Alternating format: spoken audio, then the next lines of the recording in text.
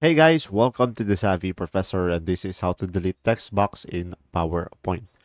So guys, in order for you to do that, just simply right click on the text box. And then from here, you will see here the cut button.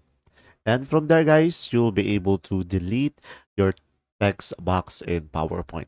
And there you go. If this video was helpful, please like and subscribe. And thanks for watching. See ya.